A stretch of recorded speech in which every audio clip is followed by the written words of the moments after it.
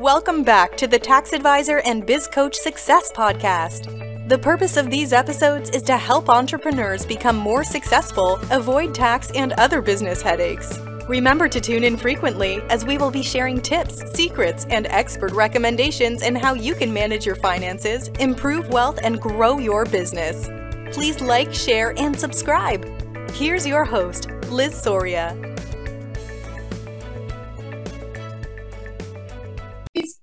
Hello, everyone. My welcome, welcome back to another amazing episode. This is Liz Soria, your host of the Tax Advisor and Business Coach Success podcast.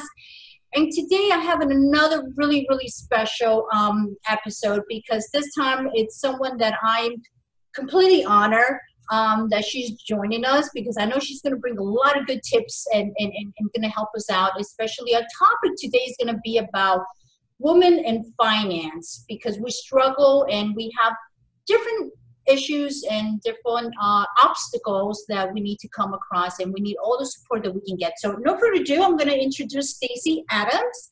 And stacy welcome welcome to our show. Thank you. I'm honored to be here. I really appreciate you asking me. I love this well, thank you so much because I do want to quickly share, and, and, and, and it's really, I'm going to, you know, the next few minutes is going to be all about you. You're the spotlight here.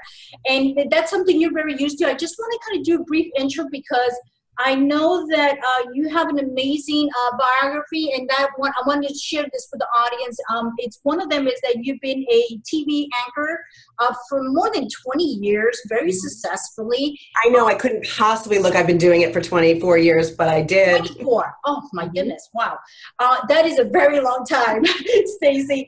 Um, so you're used to being in front of a, a, a camera crew, not not a little tiny camera like you're right now. So That's you're okay. I still love it. That's excellent.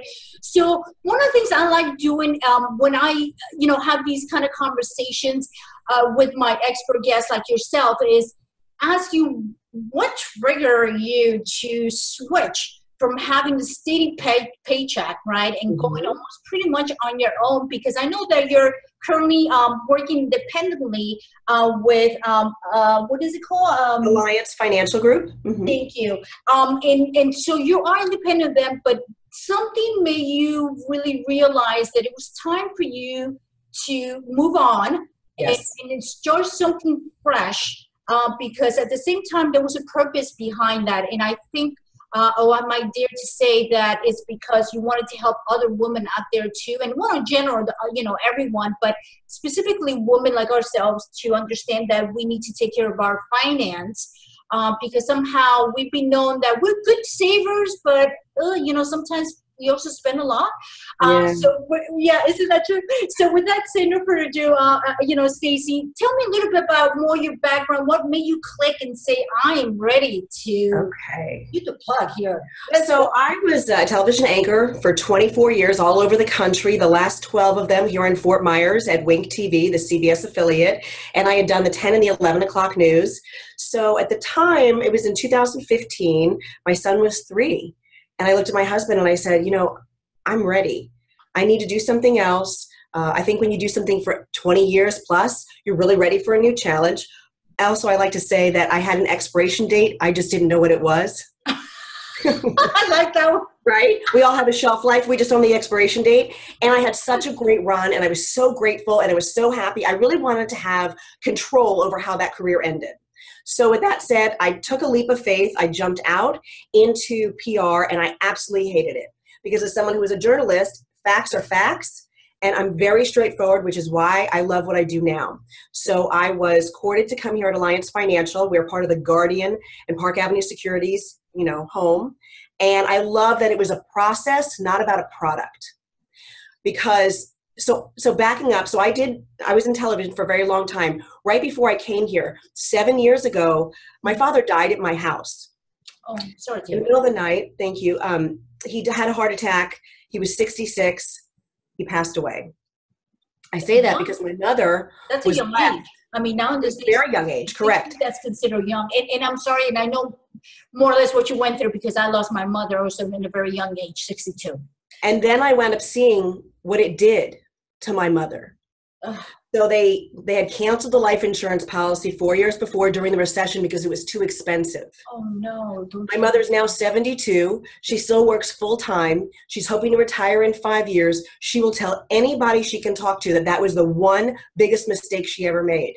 People think you don't need life insurance after your you know your kids are gone. That's not true. Not true. Because it was a $250,000 policy. Not a lot of money, but that would have afforded her the chance to kind of back up and maybe make some different decisions. She's a little nervous to end working because she doesn't know how long she's going to live.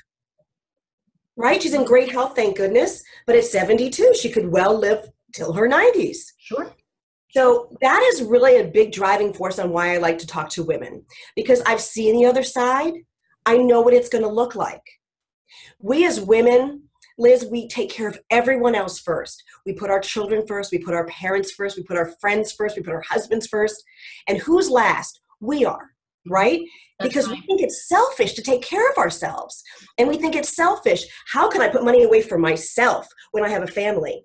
Because ultimately, none of us want to be a burden on our families. No. None of us want our children taking care of us. None of us want our children making financial and medical decisions. But yet, by not taking care of ourselves now and planning today, what we don't want to happen will happen. it's a reality of life. I mean, I mean, and I think that's a great point that you just brought up, uh, you know, Stacy, because like you said, most women we have been. I think it's a, it's a mindset.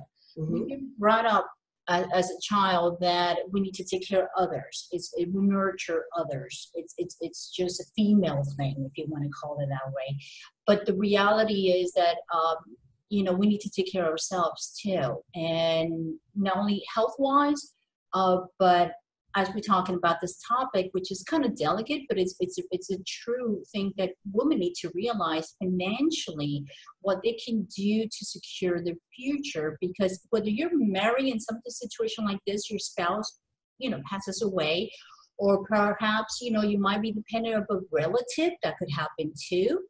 Um, how can they really prepare, and what would you recommend um, that they can start doing if they're not doing it, or what else can they add? So that's two and one. Sorry about that. That's okay. I'm used to lots of questions. I love it, right? So, Liz, it starts with taking care of yourself first. And I'm not saying not taking care of your family. What I'm saying to you is too many women will look at me and they'll say, I don't have any extra money to save. That's not true. Not true. You might have to make some really hard decisions, but I don't care. You have to save something. Ideally, 20% of your gross income. That may sound like a lot. That's what I want my clients to get to. If Right. we're starting at 3 and 4%, we're starting somewhere and then we just have to keep increasing it, right? If you take it out of your checking account and you have it diverted, you don't spend it. That's right. If it goes into your checking account, you will spend it. That's just the way people are. Make it a habit. That's what I tell you. Make things into a habit. Like you drink your coffee. I don't know. I'm a coffee drinker. so Me too. for me, I, I just can't wake up without my caffeine. I have to Mm-hmm. have my cup of coffee. Well, more than one, by the way. But anyhow, uh, by the time at this time, I probably had about three. But anyhow, so that's why I'm a little hyper now. So, but the thing is that it's true. I mean, we need to make things into a habit. So, you your suggestion is if you can do it, let's do it twenty percent and not come up with any excuses why we cannot. No excuses. You make yourself an automated bill, right? You have to divert that money. If you depend on putting that money somewhere else, dollars to notice, you're not going to do it. There's going to always be something that happens tires, this, that, the kids. No excuses. It's a bill that automatically goes into a different account every paycheck. You know, people do it on their 401k. And while I think a 401k is a great tool, there's an over reliance on that tool Yes. people very young are putting their money in jail until they're 59 and a half and they mm-hmm. have no liquidity they have nowhere to go the minute they need money. So i say wait a second. You first need a bucket where you can access money in case of emergencies. So pay yourself first. That's step one number one. You need to sit down with somebody. This isn't a diy project. No, i don't color my own hair. You know, No. it might look like it. Um, I don't drill my own teeth. I don't do my own taxes. I go see an expert.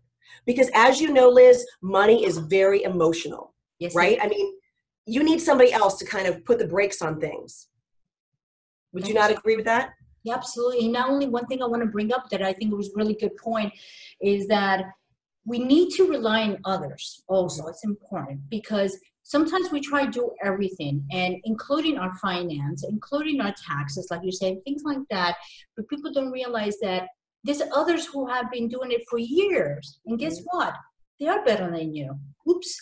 Um, so stick with what you're good and let others help you because this right. is really important. I don't care at this point whether someone who's running the business or someone who's still working as an employee who's listening to to to this podcast to realize that it's our future. We're in control. We're not going to blame the government. We're not going to blame others. We need to blame ourselves so therefore if we store it doesn't matter what age you are because some people maybe for whatever reasons you know uh, stacy they have not been able to save but today could be the first day. Right. And I think the thing that makes me crazy, not to interrupt you, but Liz, if people say it to me all the time, call me in two months, call me in six weeks, call me, you know, next October.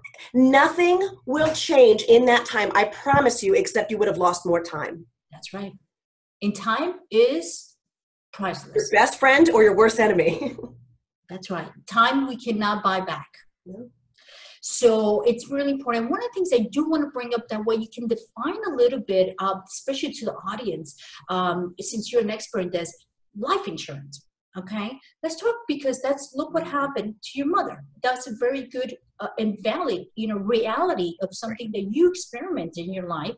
And um, you know, I've seen this with other clients of mine and even friends and you're right. Sometimes they say, oh, we need to cut that expense. That's an expense. Let's not call it an expense. Let's call it an investment. Something that's going to be for your future. Right. Um, so and let's talk about the benefits of life insurance, right? Because as a tax advisor, and you know very well, we talk about a lot of strategies. And one of the things I do is, like I said, I don't do so much tax compliance, which is just simple return. I love doing tax planning because I love mm. cutting people's tax bill, and that's what I'm good at. And and I'm thriving to continue learning because it's so complex. Taxes is yeah. so boring. I mean, that's the truth. Um, that I have to kind of bring a fun part of it. But I love saving people's money. Mm-hmm. And if mm-hmm. you don't have to pay Uncle Sam more than what you have to, then you know, invest it somewhere else. Don't spend it. No, just kidding. Yeah, take your vacation if you have some something left over.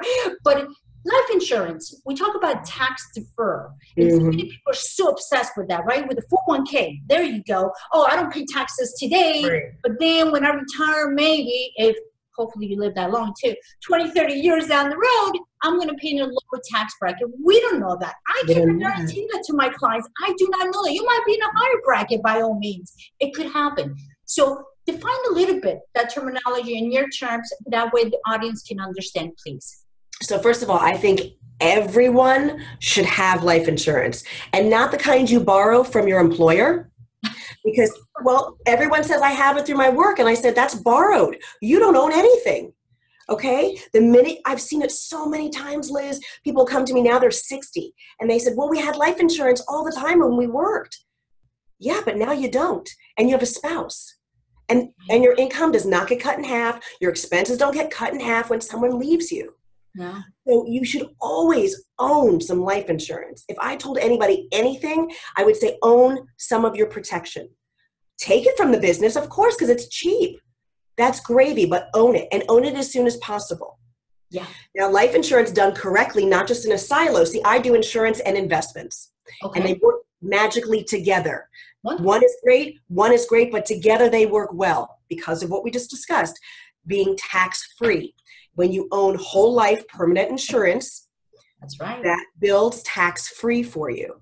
That's so right. when you have 401k, that's a tax deferred bucket. You don't get away without paying taxes on that. You just pay it on the back end. Everyone thinks it's going to be tax free. You know, they look at, let's say, they have $500,000 in that 401k. That's not all their money. No, and they don't think about that. They're planning on that 500,000. That's not all their money. No, so life insurance used properly creates you know a tax-free bucket as well as leverage you know there's so many ways you can use um, whole life insurance when you sit with an expert it becomes part of your plan. It's not just a product. That's the difference.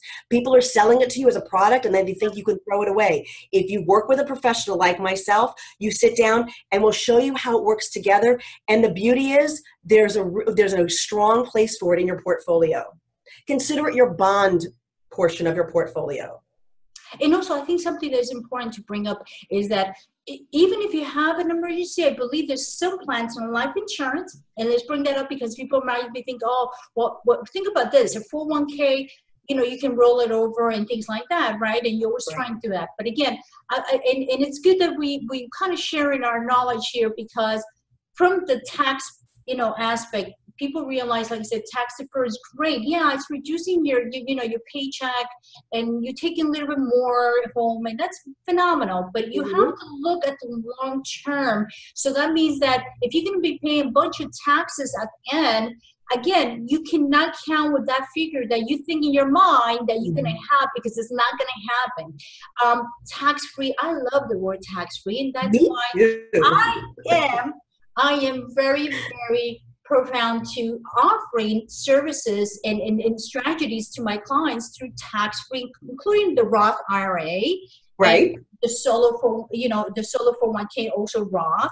So mm-hmm. we can do all these kind of things because I really think that the last thing you want to worry about, folks, is taxes when you're retiring because enough you're going to deal. So go a little bit about the options that if they have in case if they can take a loan, what kind of options they right. have, they have an emergency. So, first of all, people always say it's so expensive. Remember, it's a saving, it can be used as a savings component. There's so much more to life insurance than just the death benefit. Yes, it triggers a death benefit if someone passes, but right. there's so much more to it. Um, it builds cash value. I'm with Guardian, so I'm a mutual company, meaning you have a policy, I have a policy, we own the company. There's no shareholders above us. That's nice. a big deal. Yes, it is. Um, we participate in the dividends of that company. Guardian's a company that's been around for over 160 years, always paid a dividend. Those are strong, those are things you need to look for in a company. So when you're putting money into this, and yes, it costs money, but look at it as like a tax savings vehicle as well as a death benefit. There's more, you can leverage it, it's creditor protected. There's so much that goes into the beauty of having a policy than just the death benefit. I think when you sit with someone who understands how to utilize that product within, we almost like consider it like a nucleus, right? If you have a whole life policy, it's the nucleus that makes all of your other assets better and stronger. And like you said, you it builds the cash value. So let's say you hit a hard time and you're six years, seven years into it, and you say, "Wow, Stacy, I, you know, we need money for a down payment or a car or whatever." That money is yours. That's it right. doesn't trigger a tax problem. You call up and you say, I need X amount of dollars from that, and it's yours, and there's no problem with it. No penalties? No penalties. Extremely high, and people don't realize that you're looking at 10 and, and, and 15% of penalties, you know, every time you touch any type of retirement. Because the reason why they've done this because they don't want you to touch your money in a retirement right. plan. They just don't. That's why there's penalties. And a life insurance, like you say, if you truly have an emergency, something comes up, you can touch your your, your principal the money that you mm-hmm. put there you can touch it. it's not an right. issue so you know that's that's a very big freedom and not only that um, explain a little bit how or what options they have into um, the investment that they do with their funds. I think that's important. That way they understand a little what can they do with the funds inside the life insurance. Oh, our life insurance is not we don't do any it's not it's not a universal, it's a whole a personal whole life policy is the ones that I like. I don't personally like I can sell you those. I don't really like those. I like the fact that you're going to have a pure whole life policy. You know, I think your insurance should be one thing and your investment should be another. I think that's how you make them stronger. I don't want them intertwined in one product. That's just me. Right and that's excellent. And now, what what uh, what other suggestions do you do? Um, uh, the earlier, obviously, the better it is. How much um, someone that now maybe they're in, in, their mid age, as we call it, right now in this days, mid age means forties. okay, so so I'm mid aged. I'm I'm that person. Go ahead. Me too. Actually, I'm in my thirties. oh, good for you. yeah, right.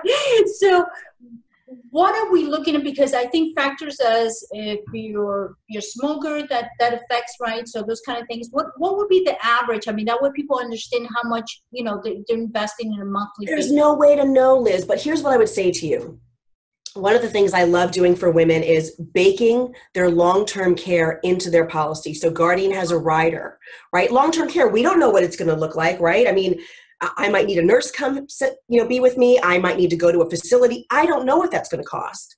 So the only way to do this is to mitigate that by having something that's going to offset that cost for you. So by having a permanent policy, we have a rider that's a long-term care rider. It stays with you forever, right? You pay your premiums. Let's say you never need the long-term care. Fine. But if you do, what happens? Can you explain the reduces the death benefit dollar for dollar in my policy, in a guardian policy.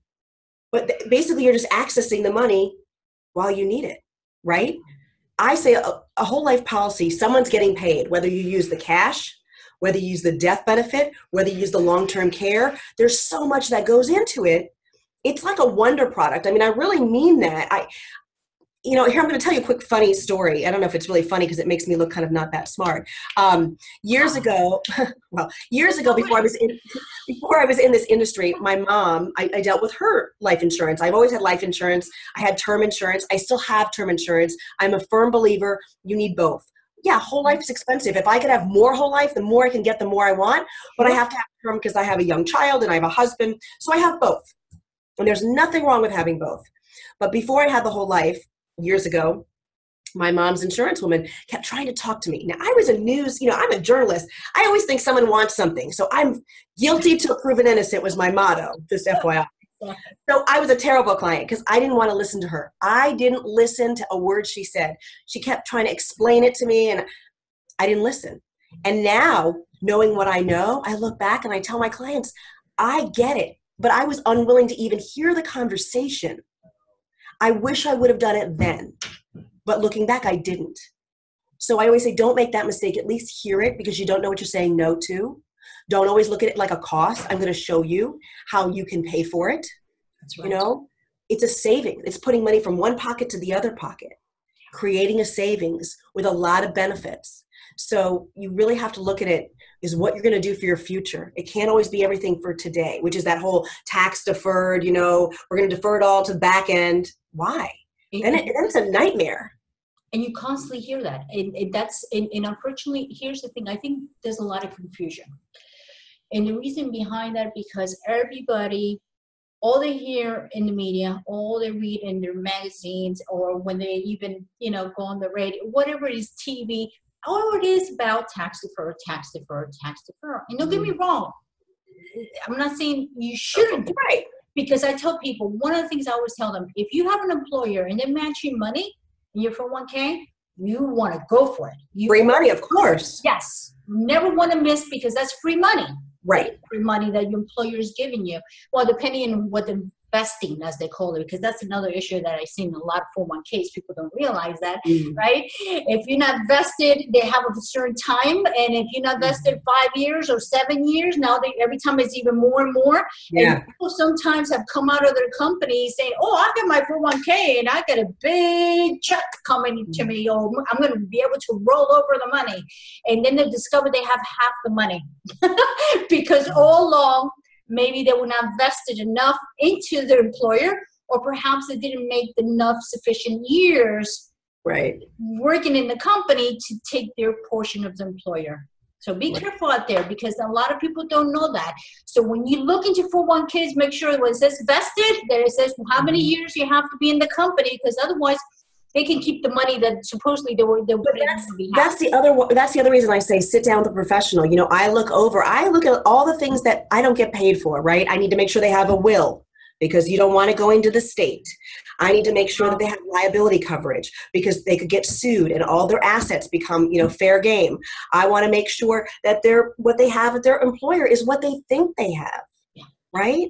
Because just like you said, or sometimes they have someone come in and do their employee benefits, they put stuff in front of you and they say sign, and you don't even know what you signed up for, and then you walk away, and then maybe you need that disability product. But I, I, look, you have something and you don't have it.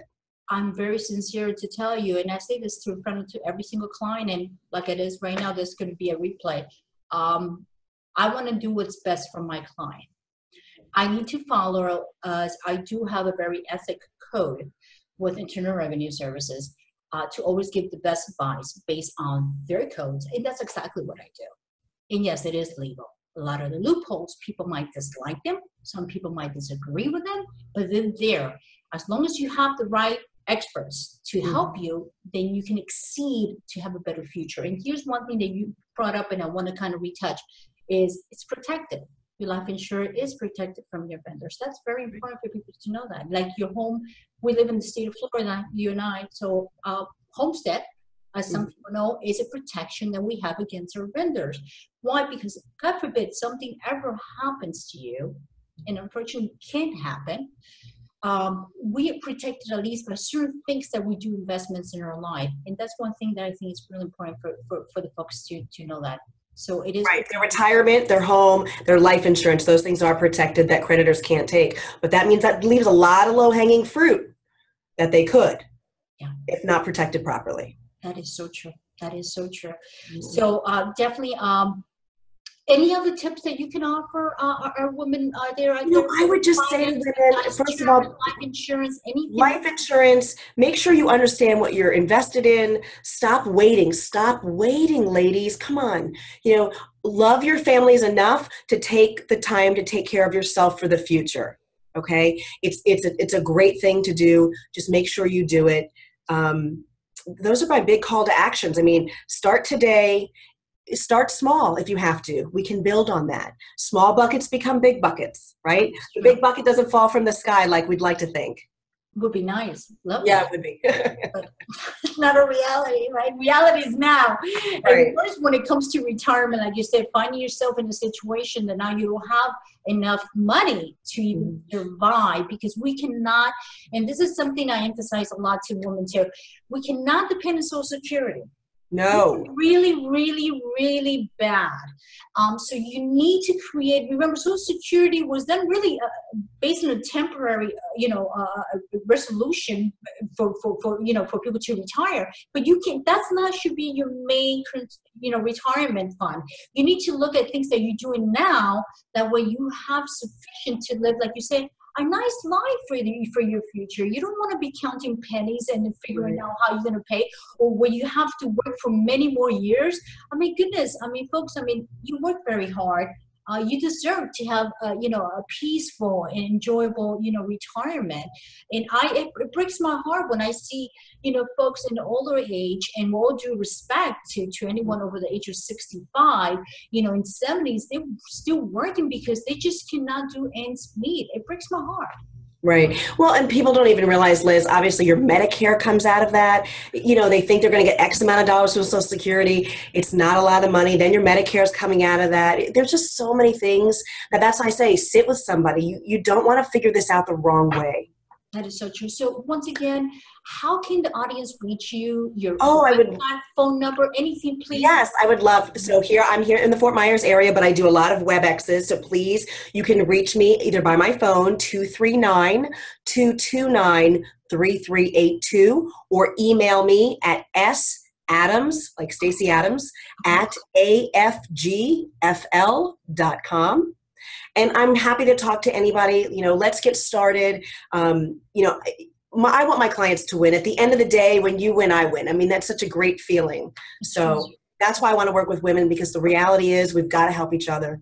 and I do, and I and, and I always try to do my best to you know give this kind of uh, you know experts like yourself because they really need as much help as possible. And like I said, uh, like you said at the beginning, we're just concentrating doing other things for others, and sometimes we forget about ourselves.